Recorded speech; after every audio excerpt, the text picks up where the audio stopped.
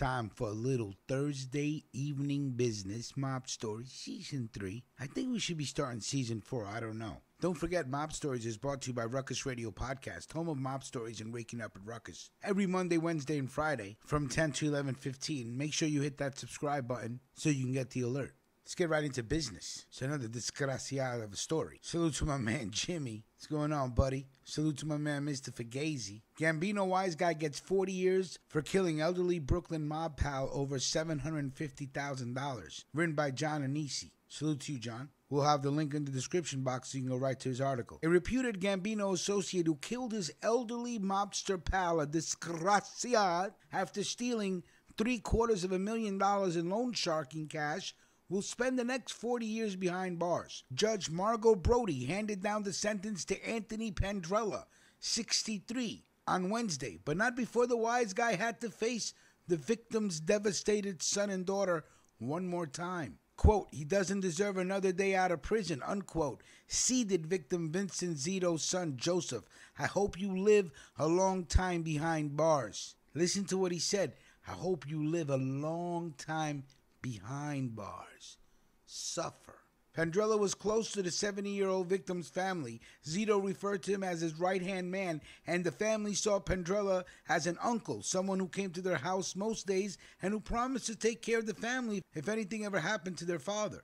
They never thought that Pandrella would shoot Zito on October 26, 2018, leaving the victim's body in his family's Sheepshead Bay home where the 11 year old grandson would find it. The killing stemmed from a fight over stolen cash. Pandrella agreed to hold. Pandrella agreed to hold on to 750,000 from Zito's loan shark business because Zito was worried he was under investigation. But when Zito asked for the money back, Pandrella said that somebody took it from his basement. Now here's a lot of mistakes right here. First of all, if you're going to give somebody $750,000 to hold, you you better sit there and think of every fucking angle and ask yourself would this guy kill me over this fucking money? And if you would even think for a second, for a second, that this person may do you dirty, you find somebody else to give it to you, you dig a hole. I have one person in my life that if I had that much cash, I could hand it over to with no problem. It's none of your business. I hope everybody that listens to this show has somebody that they could trust like that in their life. And believe me, ain't nobody that's listening to this podcast has hundreds.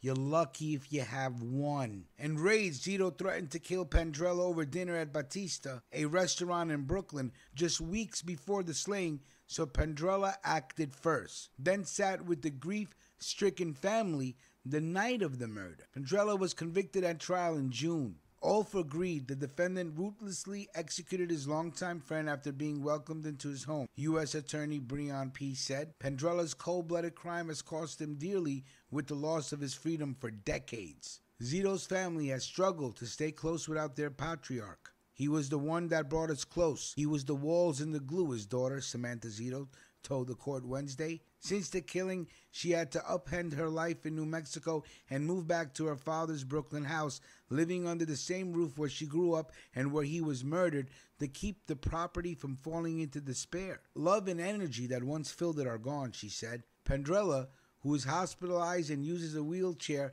and suffers from gangrene and diabetes, Anything far beyond a 10 year statutory minimum is going to be a death sentence, said his lawyer, James Froccaro. Despite his failing health, prosecutors asked Judge Brodie to sentence Pandrella to life behind bars, saying that the sentence would send a message about the heinous nature of his crime. Even though they were hoping Pandrella would get life, Zito's children said they were satisfied justice was done. Well, justice would have been shooting him the way they shot the father. But that would be too easy. That'd be too easy for this sort of betrayal. If someone is honorable and shows you love, you are bound. You are bound by honor to reciprocate that. A lot of people out here with their hands out that don't reciprocate honor and love that they receive. You don't kill your friends, man. Ugh, it's disgust. It's disgusting. That's what it is. In essence, 40 years, 63 years old. You tell me what it is, Joseph Zito said but just the satisfaction of hearing life, a life for a life in my mind. I agree. First of all, great article. Salute to you, John Annese. Another disgraciad. You know, there's more articles coming out about the Zottola hit. Son executed his father to take the Bronx Empire away. I got a couple of new articles coming out on that about how a hitman who tried to kill the father was instead murdered. Every week, more and more testimonies coming out. The rats are coming out.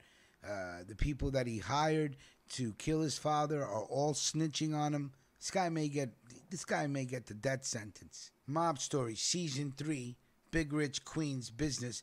In fact, I forgot to tell you what I'm rolling on, and I forgot to tell you to wipe your feet on the rug. I hope you did. I'll check the cameras. I'm smoking on some Jeeter diamond infused keef covered pre rolls from the Jeeter Company. J E E T E R. Look it up. Shit is amazing. And we will talk soon. Salute.